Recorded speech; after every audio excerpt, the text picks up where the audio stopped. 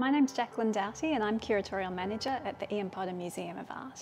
We're lucky to have in the University of Melbourne art collection a number of watercolours by an artist called Blamire Young. He painted a lot of beautiful landscapes but he doesn't really fit in the narrative that is usually told about the history of landscape painting in Australia. His emphasis was more on the internal world of the imagination and he preferred to paint from memory.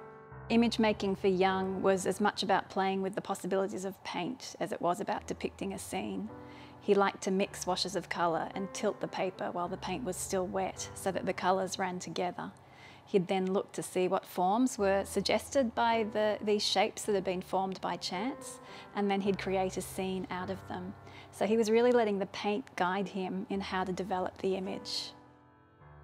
This work from around 1912 is called Myrtles and Pines and it was painted after a formative trip to Tasmania. He described this trip as a quest for greys and you can see from this work how he loved playing with gradations of colour and using the liquidity of the paint to um, make the forms flow into one another.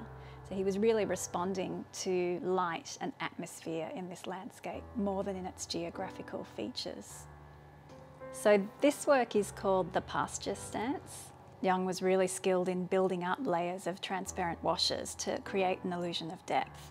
And the result is these dreamlike images in which features of the landscape seem to emerge from a shimmering haze. You can also see that he really uses the texture of the paper to create effects that look like foliage. So he's used a slightly paler um, wash over the top of a darker one and the way the paper rises makes it look like um, these are the, the leaves of the trees. And so you get a sense of raking sunlight and a stronger sense of um, the sun setting at the end of the day. So he was really skilled at capturing atmospheric effects.